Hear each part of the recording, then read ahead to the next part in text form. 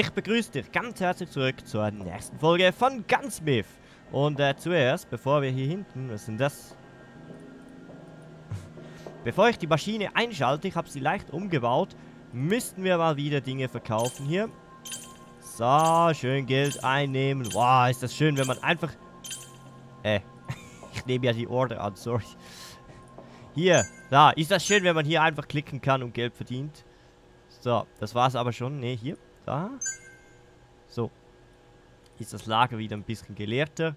Hier gibt es noch Handschuhe for free. Ah, wir produzieren keine Handschuhe mehr. Ich kann hier Restock-Items machen. Die Handschuhproduktion ist somit abgeschlossen. Wir haben aktuell noch 4500 Handschuhe. Ist ja kaum was. Das, äh, das, das ist ja fast nichts. so, liegt aber auch nichts mehr rum. Sehr gut.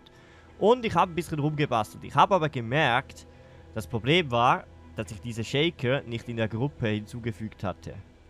Das war das Problem. Die waren gar nicht eingeschaltet. Und deshalb habe ich schnell eine neue gemacht mit Produktion. Mit diesen Dingen hier.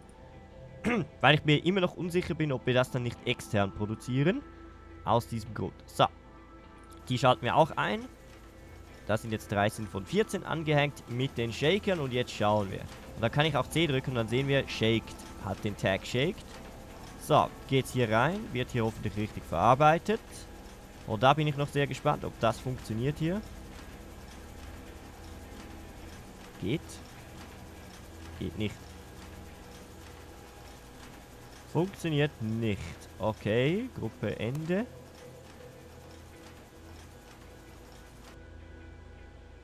Geht nicht. Die andere Gruppe funktioniert problemlos. Die können wir auch mal laufen lassen. Ah. So, hier sind ja nur 89 drin aktuell. okay. Die liegen da irgendwo auf dem Boden. Also so geht's nicht. So rauf machen geht, so nicht. Ja, dann müssen wir wohl oder übel die ganze Sache ein bisschen verschieben hier. Also Produktion off. Dass es nicht einen Schnellschalter gibt, um das Ganze auszustellen, ist fast ein bisschen schade. Das ist schon eine Friemelei da ständig. Also ich habe gedacht, ich habe hier die perfekte Lösung gefunden. Anscheinend nicht. Dass man das auch noch einigermaßen gut aussehen lassen kann. Denn wenn das höher ist, dann muss man das wirklich eigentlich so anschließen. Und nicht so einfach, dass sich's rüberbackt. Das ist dann schon nicht so schön, wenn es das machen muss. So, all diese Bänder hier. Sollte halt noch solche in halb geben. Aber dann, dann stimmt die Höhe nicht. Ge stimmt, geht nicht. ist nicht möglich. Wenn ich jetzt darüber gehe, den dahin mache, und die Bänder mal wegnehme hier. Äh, der Input war da. So zum Beispiel. Da rein, da raus. Wir wissen ja immer noch nicht, ob es geht.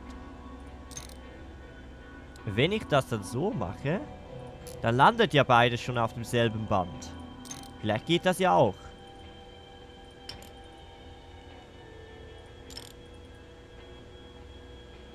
Und dann haben wir so gesehen... Wieso kann ich da kein Band setzen? Geht da nicht. Okay, sollten wir noch ein bisschen rutschen. Sowieso, also da hinten müsste dann halber hin. Den ich wieder falsch habe. So. Dann den dahin. Den. Und jetzt fehlt hier ein halber. Ist aber ganz einfach gemacht. Wenn man das so macht. Also es würde auch so funktionieren wahrscheinlich. So. Und auf diese Art und Weise müsste das Ganze auch funktionieren. Ich bin gespannt. Also, schalten wir die Gruppe wieder ein. Ist jetzt doch ein bisschen schwerer. Gut, die. Die lasse ich gleich mal aus. Denn wenn es wieder irgendwo nicht funktioniert, brauche ich ja das nicht zu produzieren. So. Da wird jetzt geschüttelt. Ihr seht, er schüttelt. Dann geht es hier rein. Wird dann erhitzt. Ich kann auch C einmachen. Der ist jetzt, der ist jetzt hardened und dann geht es hier rein. Kommt raus. Hat funktioniert, glaube ich. Hm, wird auf magische Art und Weise hier rüber genommen. geht dann hier rein. Der produziert zwei Sekunden. Und dann kommt hier das raus. Aha. Jetzt bin ich gespannt, was diese Maschine hier macht. Die verpackt das Ganze, ja. Ah, die ist nicht eingestellt. Sehr schön. So.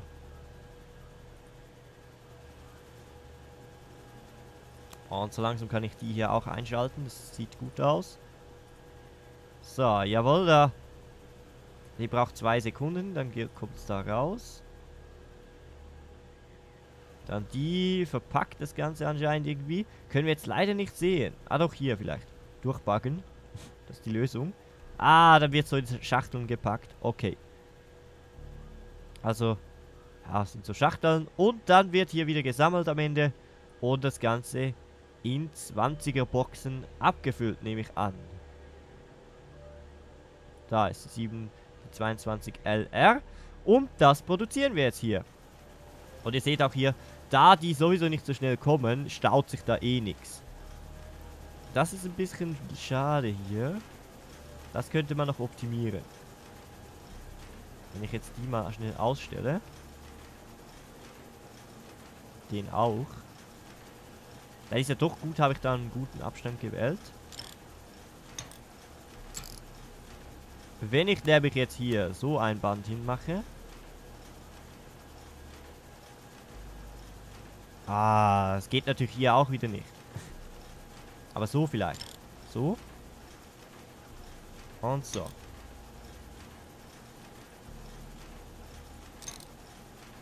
Hierhin so und hierhin so. Äh, da nützt der Space nichts. So. Wieder einschalten. Nee, wir wollten das ja da verhindern. Das war jetzt voll die, die Lösung, die nichts gebracht hatte. Es bringt ja nichts, wenn man einfach so eines verbaut. Aber ich kann jetzt zum Beispiel den austauschen und dann noch so eine bauen. Das müsste gehen. Und die wollte ich eben schauen, dass wir die einmal da rumnehmen.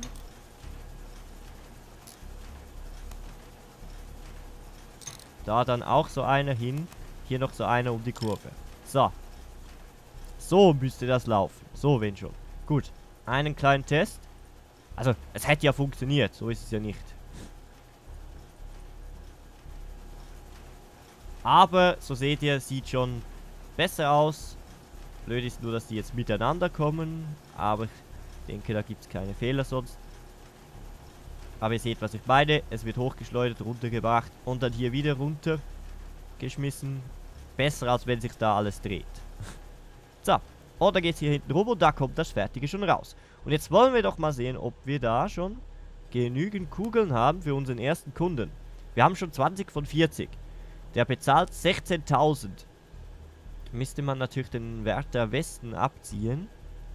280 Westen bringen 15.000. Und er möchte 260 Westen. Ja, dann verdienen wir voll wenig daran. ja gut, 40 Schuss ist jetzt auch nicht so viel, sage ich mal. Und da ist schon der nächste Auftrag, der Kugeln möchte.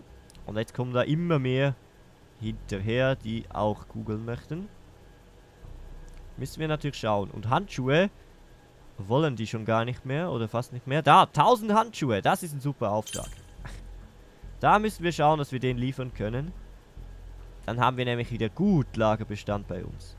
Dann läuft das Ganze wieder sehr gut. Wo ist denn der jetzt schon wieder? Hier. Also 220 Westen und dann haben wir diesen Auftrag.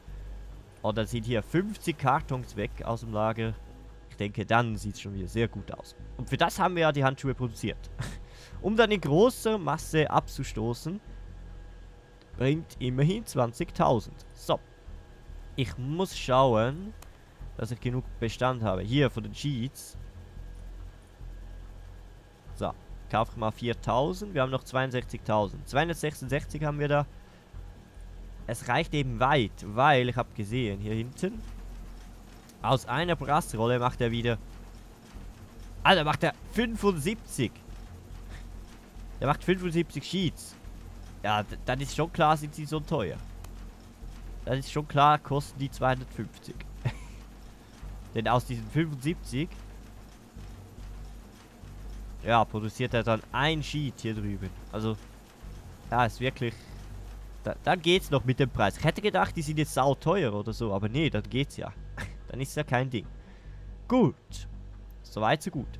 Also, das haben wir schon mal in der letzten Folge mehr oder weniger geschafft. Diese Folge hat jetzt das Ganze noch ergänzt. Jetzt ist die Frage, den da müssten wir erstmal umbauen. 14.000 habe ich noch von diesen Plastikteilen. Komm, also ich glaube, wir spielen ja eh auf leicht. Diese paar, diese paar Dollar, die wir da verlieren, ja, kommt nicht ganz drauf an. So, den mache ich auch noch weg. Die Bänder hätte ich behalten können. Das wäre gegangen. Äh, bevor wir jetzt eine weitere Maschine da hinten umsetzen, können wir hier nochmals eine Linie bauen. In der Mitte. Und vielleicht können wir das dann zusammenhängen. Denn es ist vielleicht sehr ähnlich gemacht. So, und das wäre dann die 50 AE Bullets. Dann schauen wir doch mal, was die so braucht. Die da. Und ihr seht tatsächlich, es ist immer das gleiche hier. Man könnte das auch auslagern. Also das schauen wir noch, dass wir da einfach einen Dispenser hinmachen und diese Produktion auslagern und für alle produzieren. Wir haben zwar nicht viel über, also die ist eher, die ist eher gleichmäßig, die geht auch eher lange, also Vielleicht bauen wir die auch nochmals auf. Das Ding ist natürlich nur, dass diese da hinten verbraucht die, die braucht 15 Sekunden, die sie produziert, aber die verbraucht immer noch, oder? Ja. Dann stellen wir doch die mal aus. Denn wir haben ja jetzt hier die Chance schon auf 2900. Es ist einfach nicht gebalanced. das ist das ganz einfache Problem. Das könnte man vielleicht eher aus ausmachen. Aber wir sehen hier, es ist nicht gleich. Hier haben wir den Bullet Puncher 1. Der ist da und da für diese Bullet braucht es noch Hitze. Also, äh, das wird schwer mit dem Auslagern. so, wir können sogar da draußen schon mal beginnen. Wie doof ist das denn? Da war ich ja gar noch nie. Da kann man auch nicht rein, aber Maschinen kann man setzen. okay, alles klar. Ich würde auf diese Linie gehen hier. Ach komm, in der Tür ist schlecht. Also, so, da. Die Leute können ja hier reinlaufen, das ist kein Problem. Gut, dann braucht es Hitze. Da ist die Frage, ist der Schlitz auf der Höhe? Ja, das geht. Und dann kommt diese fette Maschine da.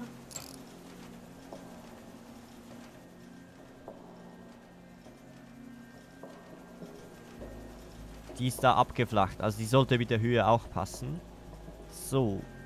Aber braucht es wieder Hitze. Kontrolliere jetzt alles nach schnell. Dass es hoffentlich danach in einem Rutsch funktioniert. Und dann machen wir dann Conveyor hinter hochgeht. Das habe ich jetzt gelernt. So. Dann kommt da unser... Ah, da geht's nicht. Weil der Shaker muss wahrscheinlich ein bisschen hin und her bewegen. Ist aber sowieso gut, ein bisschen vom Zaun wegzukommen.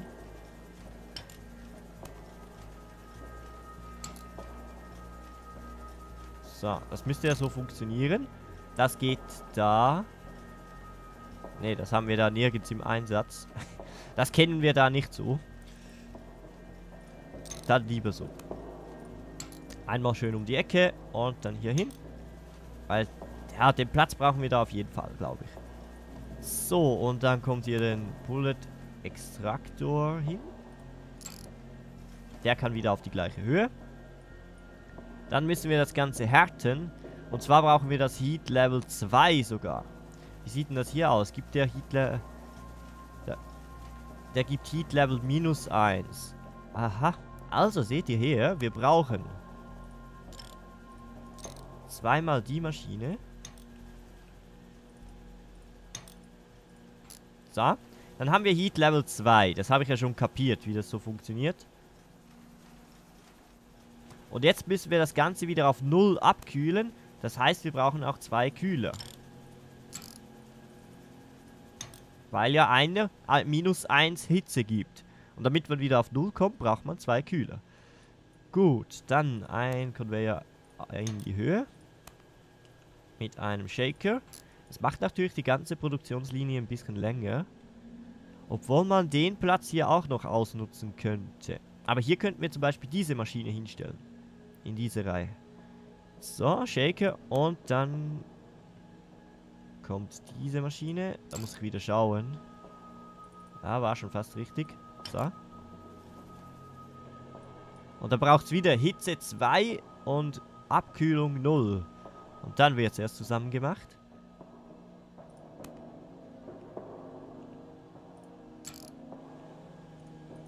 Also würde ich sagen, wir bauen hier sowas ein. Dann hier so.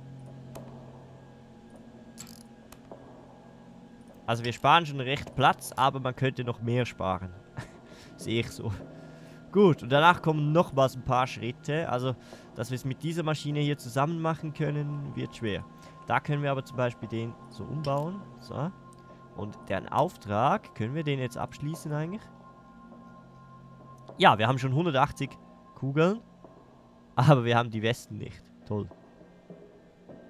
Und die Westen, haben wir gesagt, brauchen wir ja hier für den Großauftrag. Ja, dann lassen wir noch ein bisschen Zeit da. Okay. Es braucht mir schon fast wieder zu viel Platz. Aber wir könnten ja hier die zweite Produktion reinmachen. Die passt da vielleicht noch rein. Gut, also Hitze, Hitze, Kühlung und dann kommt die Maschine. Ja, dann starten wir doch da drüben gleich.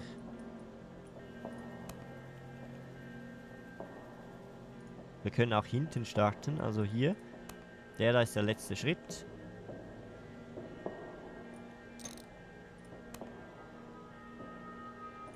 Zweitletzten Schritt und dann die beiden, die zusammenkommen.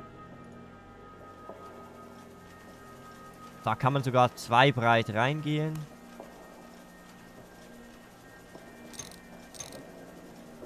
Aha, ja, aber man kann nicht äh, zwei breit dispensen. Das war das Problem, glaube ich. Genau. Wie einfach habe ich das da hinten gelöst? So. Und äh... Irgendwie staunen die da ein bisschen. Ist das immer so? Weil die da aufeinander treffen. Ist nicht optimal. Nee, das macht man besser anders. so wie ich das hier gebaut habe, nämlich. So. Es kommt ja hier in der Mitte raus. Und zwar, wenn wir jetzt von hier drüben raufgehen. So. Boah, spiegelt das hier. So. Und dann von mir aus mal ein langes Band reinmachen. So. Und jetzt halt schau, dass wir die Maschinen noch hier hinkriegen. So. Das war jetzt Chemical Dispense. Ah, das sind ja dieselben. Stimmt. So. Und so. Kommt das hier raus dann wird es bei gleichmäßig da drauf gemacht. Ist, glaube ich, besser. So. Jetzt haben wir das da reingekriegt. Sehr gut. Und jetzt können wir hier... Das könnten wir ja vielleicht dann noch an der gleichen Linie wie das andere anhängen. Und jetzt können wir hier schauen, wo wir bleiben. Also die Rucksackfabrik kommt ewig.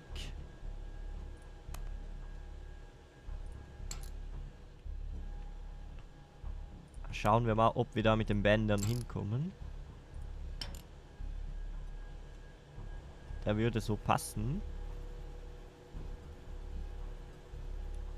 Ja, dann hier so ein langes rein. Ah, da liegt noch ein kleines Teil am Boden. So. Das heißt, der da so.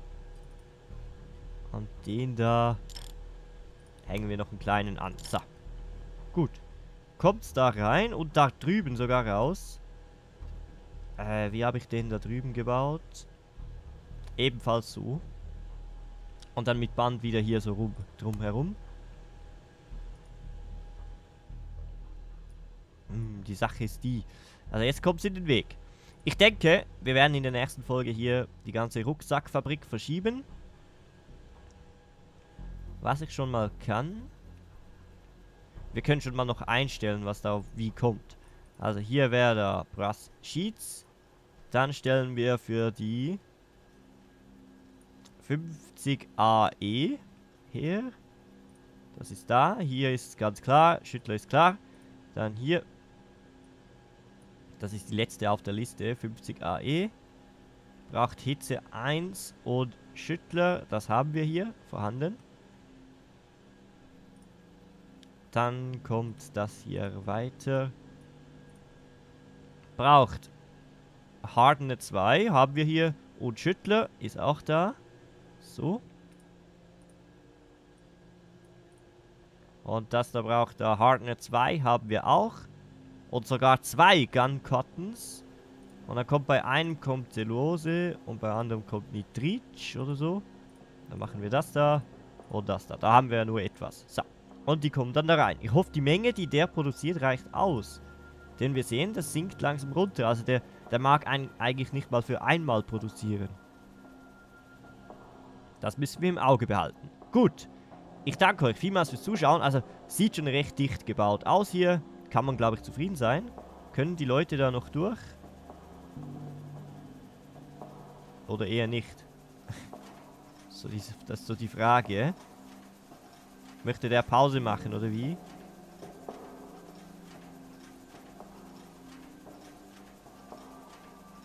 Roaming. Was heißt denn Roaming? Der schaut mit 23 Energie schon zum Resten. Ja. Ich glaube, wir müssen da irgendwo noch einen Platz schaffen. Ist nicht optimal. Oder oh, Rooming heißt es, er sucht einen Raum. Ah, so vielleicht. Ich setze ihm die Couch hier hin, dann geht's. nee. Ich überlege mir was. Danke fürs Zuschauen und bis zur nächsten Folge. Tschüss.